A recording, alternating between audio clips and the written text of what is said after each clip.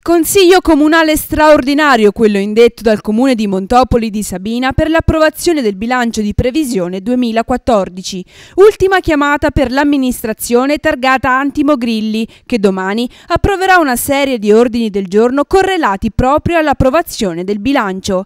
Tra questi la conferma dell'aliquota IRPEF, della Tari tributo servizio rifiuti, dei costi dei servizi a domanda individuale, dei piani di zona per l'edilizia scolastica ed infine l'approvazione di incarichi incarichi e collaborazioni. Andiamo ad approvare un bilancio mantenendo inalterati i parametri rispetto all'anno precedente, il commento del primo cittadino Grilli. Tra i punti dell'ordine del giorno anche l'approvazione della convenzione tra il comune di Forano e quello di Montopoli per la nomina di un segretario generale in forma associata.